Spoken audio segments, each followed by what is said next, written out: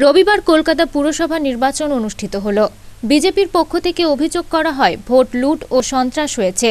এরই প্রতিবাদ জানিয়ে এদিন পূর্ব বর্ধমান জেলার শহর বর্ধমানে জেলা বিজেপির নেতৃত্ব পথ অবরোধ করেন।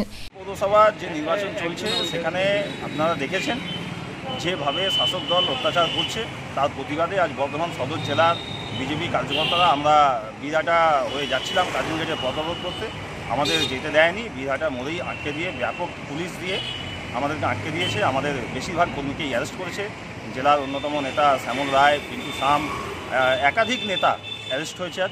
আমরা এখনই প্রশাসনিক ব্যবস্থা নেওয়ার জন্য লয়ার নিয়ে আমরা থানায় যাচ্ছি। দেখা যাক আমরা প্রত্যেকটি কর্মীদের সূচনা দিতে চাই যে আপনারা প্রত্যেক গ্রামে গ্রামে আজ বিক্ষোভ দেখান। শাসক দলের এই অত্যাচার গণতন্ত্রকে যেভাবে গলা টিপে হত্যা করতে চাইছে এটা কখনোই মেনে নেওয়া যায় না। প্রত্যেকের কাছে অনুরোধ করব আপনারা আজ পথে নামুন বুদ্ধিজীবী সম্প্রদায়কে বলব পথে নামুন এইভাবে কখনোই গণতন্ত্র চলতে পারে না। কলকাতায় পুরো ভোটে ভোট লুট হলো কেন? মমতা ব্যানার্জি কলকাতার পুরো ভোটে ভোট লুট হলো কার মমতা ব্যানার্জি দাও। জবাব চাই দাও। বন্দে মাতারো বন্দে মাতারো বন্দে মাতারো বন্দে মাতারো বিজেপি বিজেপি বিজেপি।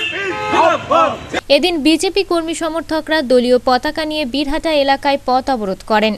এর ফলে ব্যাপক যানজটের সৃষ্টি হয়। পরে পুলিশ প্রশাসন উপস্থিত হয়ে অবরোধ তুলে দেয়।